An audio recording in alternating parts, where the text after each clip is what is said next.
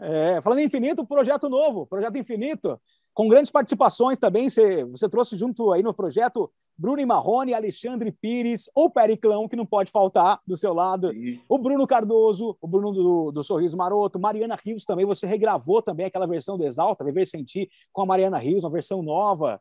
Me conta mais desse projeto infinito também. Pois é, só participações especiais, pessoas fazem parte da minha vida, né, cara?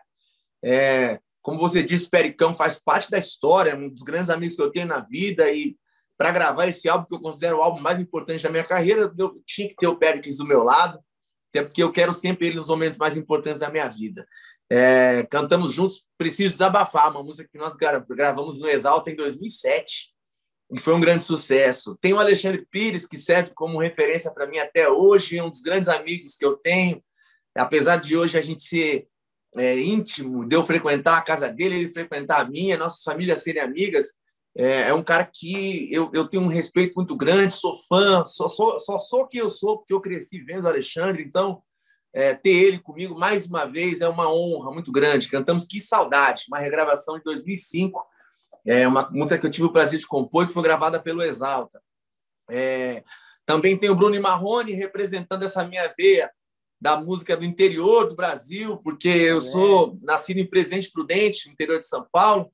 É, sou criado em Ponta Porã, no interior do Mato Grosso do Sul. Mato então, Grosso do Sul. é a música, a música, a música sertaneja, né, cara? Ela faz parte da minha vida mesmo. Então, eu, eu tenho um, um, uma propriedade, uma, uma emoção muito grande em cantar a música sertaneja. Quando eu recebi essa música, ela chama Tô Indo Embora também, é uma música inédita.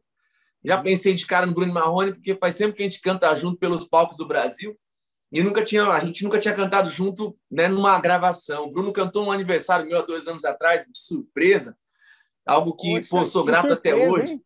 Que surpresa, é, hein? Bruno pô, cantando. Foi, foi, um quintal, foi um quintal da clube dentro de casa, sabe? Olha só, gente, para poucos isso, hein? Para poucos. É, pois é, eu, eu sou é. muito grato e foi uma forma de retribuir. Também tem o Bruno do Sorriso Maroto representando o sorriso representando a década de 2000 também, que é uma década muito importante para o pagode. Pouco, pouca gente fala, inclusive, sobre a década de 2000 do pagode, mas que tem grandes representantes como Sorriso, como Revelação. É, e se mantiveram é, eu me considero também um artista. Né? Sim, é, também me considero um artista da década de 2000 e, e o Bruno representando o Sorriso.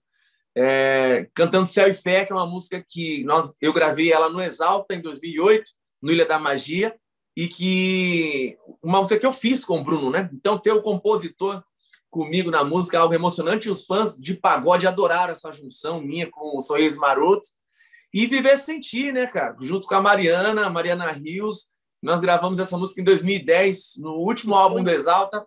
Foi a música mais tocada daquele ano e é. virou um clássico na minha carreira. Hoje poder regravá-la com a Mariana, depois Nossa. a gente virar amigo. Hoje temos uma amizade muito grande, muito forte. Quem assiste o vídeo dessa música no YouTube, né? Dessa gravação nova do Infinito, percebe hoje em dia nossa, nosso entrosamento muito maior, a gente muito mais maduro como cantor e como amigo, muito mais íntimo. Então ficou uma versão muito especial, estou muito orgulhoso dessa versão nova de Viver Sentir.